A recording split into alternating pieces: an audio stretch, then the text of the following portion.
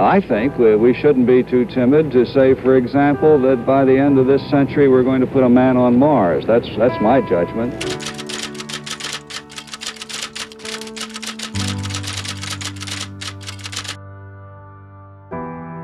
Tonight, I am directing NASA to develop a permanently manned space station and to do it within a decade.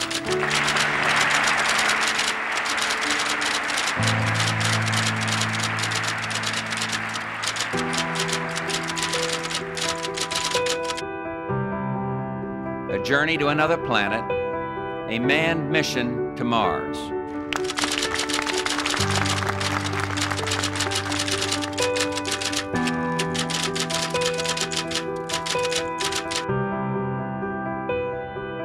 Using the Crew Exploration Vehicle, we will undertake extended human missions to the moon as early as 2015.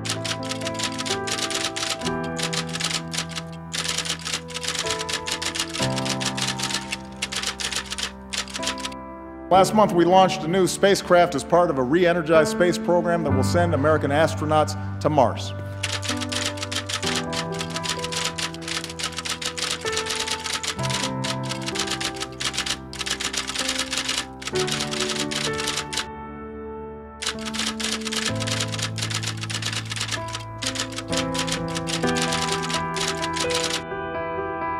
If, if you have a, a president that can even spell space, you, you've got a miracle occurring. If you have a president that can spell space and understands the concept of settlement or, or permanence or, or operating in space in a way that's actually going to achieve something magnificent for the country, oh, we've never had a president like that.